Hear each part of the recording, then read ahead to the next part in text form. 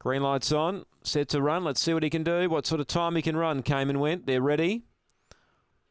And racing, he flew the lids as per normal. Straight over to the lure he goes and led by three lengths early. Silverstone second, Webleck Blade third, and Let's Win Coin last of the four as they head into the back. It's came and went clear by three. Silverstone tries to stick on.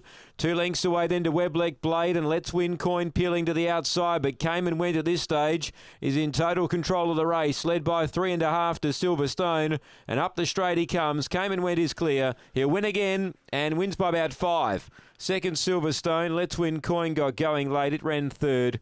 Webleck Blade fourth. And the time we await upon, it's uh, looks pretty quick. We'll stand by 30.05. It's a new PB, 30.05 for Came and Went. It's a good run. Number five defeats one Silverstone and two Let's Win Coin. That's a sharp run, 30.05. Here at Angle Park on the new track, seven is fourth Webleck Blade. Never in doubt, straight to the lure. The race was over about 20 metres past the uh, the winning post.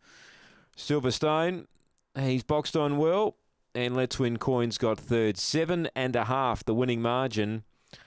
And the time is is a very good run indeed, 30.05. 5.127 after race nine. Uh, the last three races on the program will be uh, run over the 342. And the next race due to go in 15 minutes.